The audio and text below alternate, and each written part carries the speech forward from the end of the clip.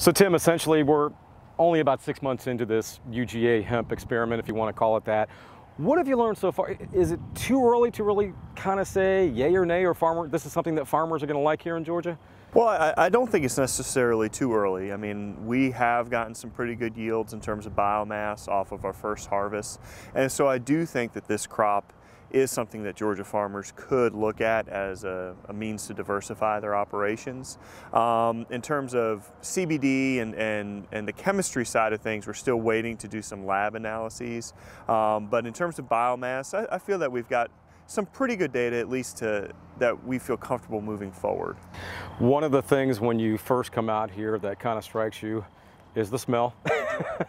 uh, anybody who's ever smelled marijuana it, uh, or a marijuana plant, it smells like a marijuana plant. It looks exactly like a marijuana plant. Uh, but there is the vast difference, and that's the THC. And I, I, think here in Georgia, in order to grow the hemp or call it a hemp product, has to be 0.3% THC. How do you regulate that, or how, how, how, do you grow a plant like that? So the, the basis of, of most everything is genetics, and so the plants that are grown for industrial hemp purposes have been selected to have total THC levels below 0.3%.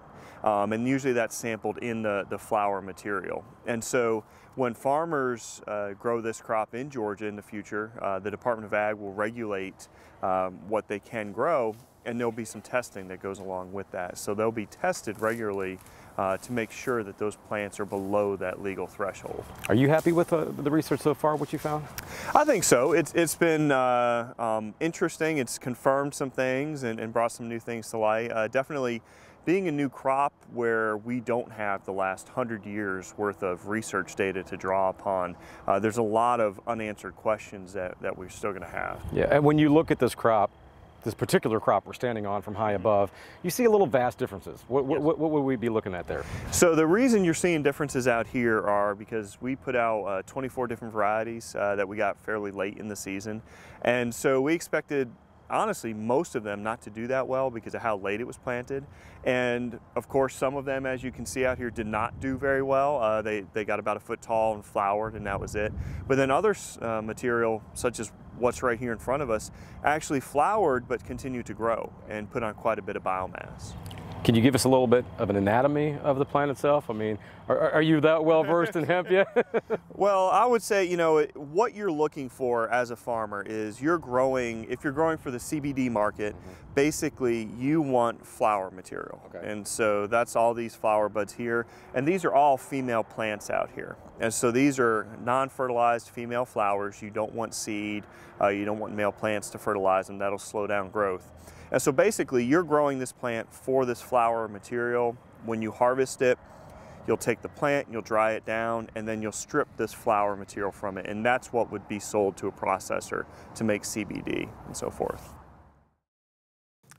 All right, so there you have it, a brief synopsis of hemp and its potential here in Georgia. Now, two points of clarification. Number one, the 2018 Farm Bill defines hemp as the cannabis plant with the THC content below 0.3%. That will be uniform across the country. Secondly, the Georgia Department of Ag won't necessarily be telling farmers what varieties to grow because at this point, there's nothing in the regulations or USDA's regulations that addresses approved varieties. That is according to a department official. Now, they also say that fields will be tested prior to harvest to ensure that the plant's THC content is within the legal limit.